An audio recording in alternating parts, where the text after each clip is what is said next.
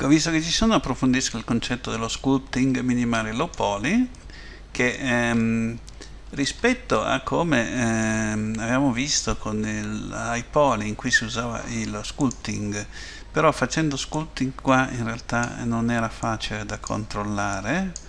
eh, almeno con questa struttura perché ci sono pochi vertici, io suggerirei di eh, essere in modalità layout e di usare, eh, come detto prima, la modalità questa che è la modalità smooth, non mi ricordo che cosa. Comunque questa, aspetta cosa lo dice, modifica proporzionale degli oggetti. Questa modifica proporzionale degli oggetti è molto interessante perché permette di modificare in maniera un pochino armonica perché se andate normalmente a selezionare un punto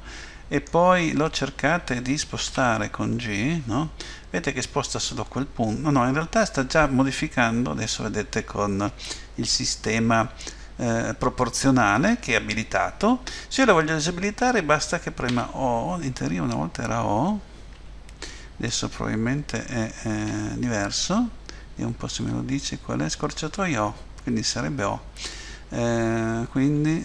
O, ok si spegne, eh, nel momento in cui era spento con G praticamente vedete che si muove solo il vertice mentre invece con O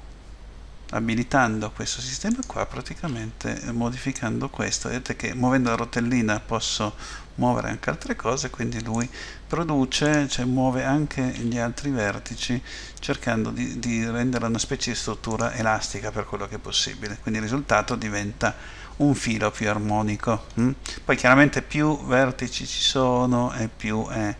eh, più uh, può, può, essere adeguato quindi questo per chi non l'avesse mai visto è il modo in cui funziona il proportional